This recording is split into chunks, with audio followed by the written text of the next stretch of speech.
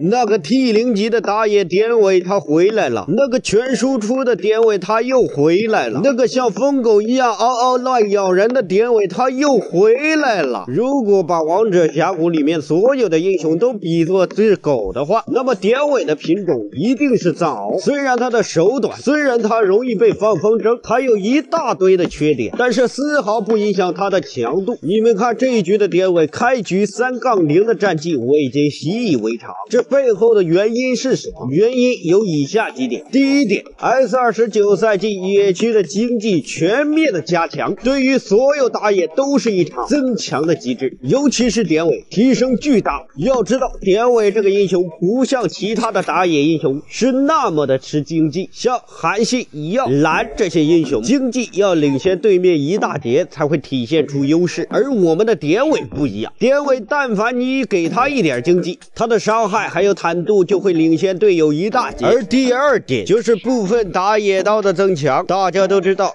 ，S 二十九赛季对于黄刀的加强很是巨大，而对于典韦来说也是一场不小的提升。而这一局的典韦虽然说不是黄刀典韦，虽然他追求的是暴力与血腥，但是依托着 S 二十九赛季对野区经济能力的加强，依然可以打出很不错的战绩。几乎到达中期以后，所有的射手都可以瞬秒打大小龙，也可以在一分钟之内顺利解决战斗。而对面的打野看见他，更是抱头鼠窜，钻慢了一点点，他就得回家。经济一上去，典韦可以肆意的游走，看见脆皮大招开局，直接秒，然后来到对面的野区，看见李白，直接秒，顺便把对面打野的尊严给他拿下，侮辱他，摧毁他的心理防线。而这一局不同寻常的是，对面的兰陵王竟然是一个辅助。虽然他是辅助，但是看见我们的典韦依旧要闪现加大招逃跑，黄铁也已经躲在塔内瑟瑟发抖，不敢出来。而此时我们的典韦要干什么？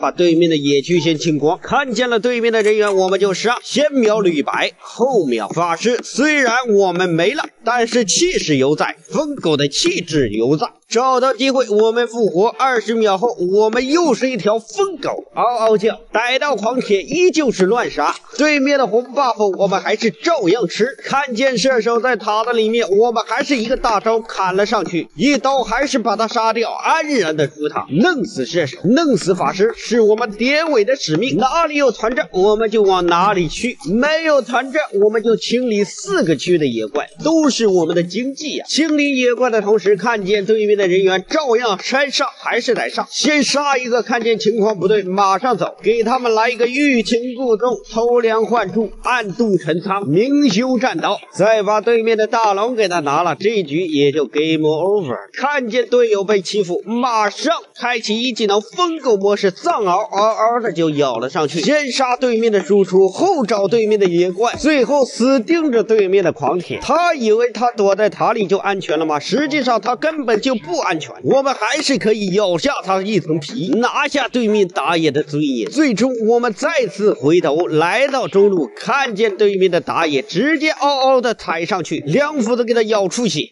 然后对面的人员正在发起大招，我们先清理野怪，清理完野怪，我们绕后突袭，一个大招再次顶了上去，与对面两人又来了一个同归于尽。坐着孙策的车，我们又一次来到下路，拿下对面的小龙，我们嗷嗷乱杀。看情况不对，先支援队友，一斧子咬上去，清理法师，回头兰陵王偷袭，先清理掉他，再一次拿下对面打野的尊严。回头我们就可以肆无忌惮，看着装备出装备，哪里有兵我们就去哪里清理，顶着我们的兵线清理对面的防御塔，见上谁我们就要咬上一口。此时典韦已经瞄准了对面的高地防御塔，蓄势待发，一鼓拿下。狂铁跑了，跟着小兵一斧子咬住对面的人员，秒杀他。游戏完了，你们学会了吗？